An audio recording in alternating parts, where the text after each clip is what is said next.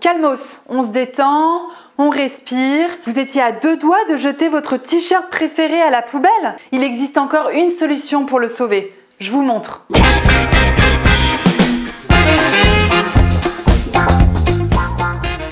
Produit magique que nous allons utiliser aujourd'hui, il s'appelle aussi eau oxygénée solide car il permet aussi de blanchir les vêtements.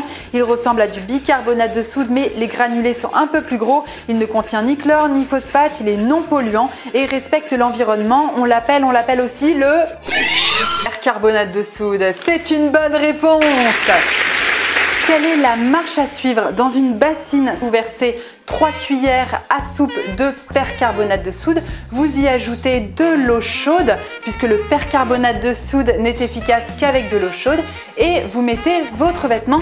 Vous vous assurez que la totalité du vêtement est bien immergée dans euh, ce mélange. Au contact de l'eau chaude, le percarbonate de soude va avoir tendance à gonfler. Dans ces cas-là, euh, attention à ne pas remplir à rabord votre bassine pour ne pas qu'elle déborde. Une fois que vous avez fait ça, vous attendez 3 jours. Oui, trois jours c'est long. J'ai fait le test avec trois jours, ça a été efficace. Si vous êtes pressé et que vous voulez faire le test en deux jours, je ne garantis pas son efficacité. Et passé trois jours, vous essorez bien votre t-shirt et vous le passez à la machine avec les autres vêtements. Et voilà, vous avez redonné un coup de fraîcheur à votre t-shirt.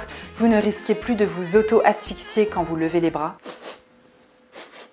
Test validé. Si cette astuce vous a plu, n'hésitez pas à vous abonner à ma chaîne YouTube Les bons plans de Mathilde pour en découvrir plein d'autres. Sur ce, je vous laisse, je vais aller mettre une brique dans mes toilettes et n'oubliez pas que ce sont les petits gestes qui font les grandes révolutions. Salut les colibris